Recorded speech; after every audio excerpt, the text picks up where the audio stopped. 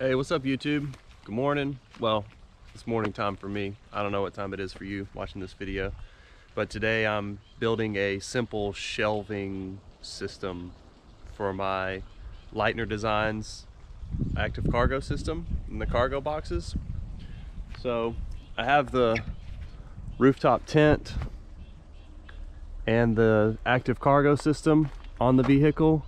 And what I want to do is put some shelves in here because I carry a lot of camping gear cast iron skillet uh, cooking stove tea kettle um, french press stuff like that. Just so you have all the gear when you're out camping overlanding. Although I haven't really done any overlanding I don't really live in an area where uh, you can get into that a lot. I guess if I went up to the North Georgia mountains I could but I mostly go camping. So I wanted to document just a simple shelving system. So I'm gonna walk over here, I'll show you. I have just a scrap piece of plywood. I've already taken some measurements inside the cargo box. So there's my piece of plywood that is dirty, so I need to clean that off. I might paint it, I don't know yet. not that worried about it, because again, this is just for camping.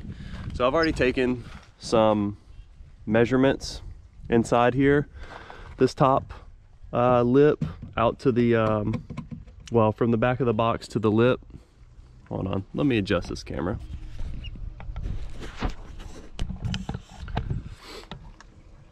From the back of the box to the lip here is nine inches. The height of the box is 13 and then the depth from the back up to this lip right here where the the lock attaches is 14 inches. Uh, so I have my measurements there and then I'm gonna try and run a shelf about, I want three tiers. So I wanna be able to lay stuff on the bottom. I'll have a, a first shelf here so I can have a middle slot and then a second shelf to stack stuff up top. Uh, so, cause I wanna put my camping stove on the bottom, my cast iron skillet on the top, or the middle, excuse me, and then some plates on the, the top. So I need to run a shelf about 13 and a half inches from this back out and then about 11 and a half inches from the back out a little higher. So like I said, I already have those measurements and I'm gonna make some cuts and see if we can put together something pretty simple. Actually, we're gonna make a correction to those measurements because I just noticed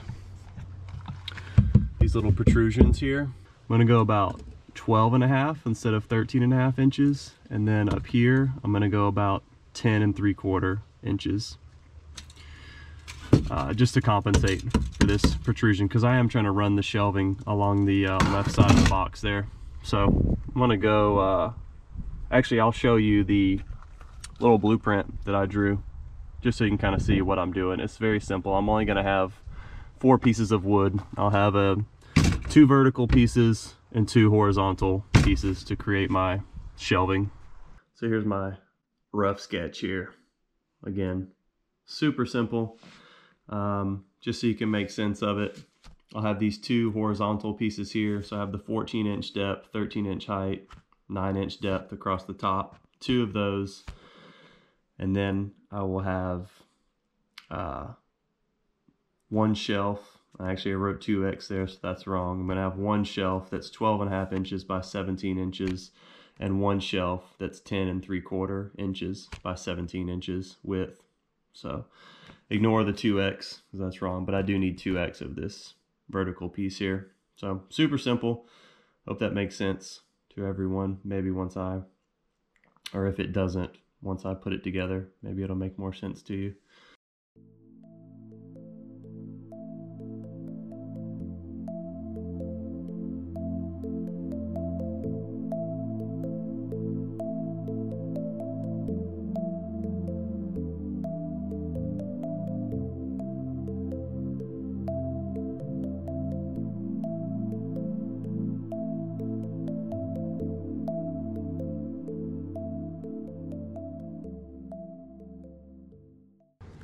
Made my measurements here. Hopefully you can see. So this section here is going to be my vertical pieces. So I just made it into one square and then divided it. So I have my nine inch section across the top. This is also the nine inch section across the top, 14 across the bottom, 14 across the bottom, and then 13 inch height. So once I cut that out, these will be my two vertical pieces. And then I've cut my two shelves or measured my two shelves here. So uh, this rectangle here is the 10 and 3 quarters depth with a 17 inch width. And then this is the 12 and a half inch depth with the 17 inch width. So that should give me my two shelves creating three compartments within the cargo box. I'm gonna go grab the skill saw and get some screws and cut all these pieces out.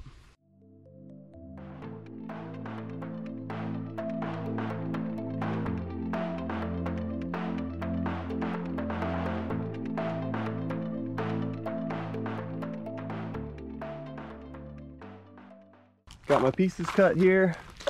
We got vertical side, the vertical side here, and then here's my top shelf. Here's my lower shelf. Uh, let's see. I should be able to, yeah. So it's like this will go up to right around there. I may have to trim that a little bit because I want to make sure I can fit my camping stove underneath there. I really did not measure the stove. I just kind of guesstimated. So hopefully, uh, hopefully it works. I don't know. I'll grab the stove and try it, see what it looks like. So here's a rough assembly.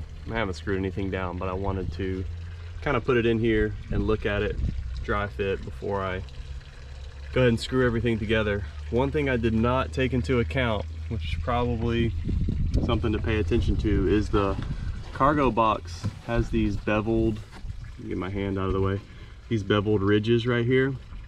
So the width that I cut, the 17 inches, actually makes it a little hard for me to get it, uh, get the shelving level because with it 17 inches, this side piece sits on a bevel. This side does not, it's lower and I still want to have access to my um, arm here to hold the, the cargo box door open. So if I shift, if I shift everything over, then I can get it all to sit on the flat section, but then it's a really narrow fit. Like it's, it's hard to get your hand inside here to grab that little arm. So I think what I'm gonna do is screw it together. I'm gonna make some marks uh, with it sitting up and or I could try and find a scrap piece of plywood that raises this piece up so it does sit uh, sit flush. I might grab the scrap piece of plywood and try that but I think what I'll end up doing is I'll just have this piece be lower and this be higher. I don't really plan on moving this. I like having my kitchen set up right here. Uh, kind of designate this side as my entire kitchen setup so don't really see the the need for me to move this. I could always swap it to the other side and it would still fit uh, in the left corner on the other side of the cargo box. Um, so yeah, I'm not too worried about it, but just something to keep in mind if you're planning on doing something like this.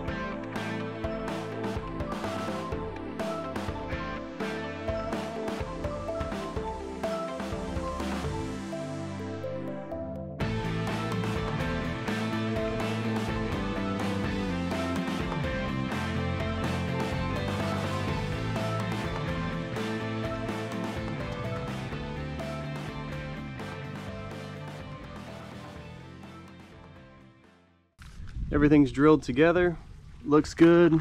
It's pretty level. See if I can change the camera angle here. I got my measurements correct.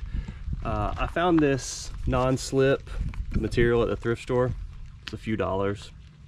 So I went and cut some strips of that. That way the cast iron skillet doesn't slide inside the cargo box. Same for the plate up top or plates. I just stapled it down with a staple gun. I'm not too worried about this looking fancy or anything. Again, this is just for camping, so I'm not trying to build like anything super fancy. Uh, just very simple.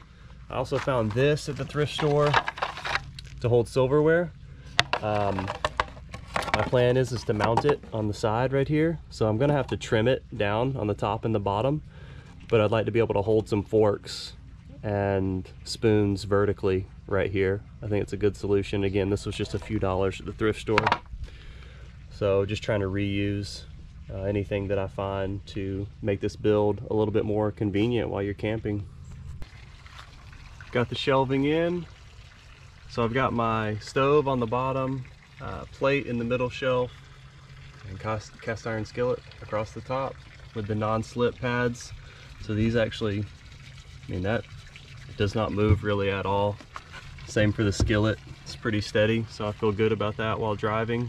I ended up using the blocks down here to balance it out because of the beveled sections.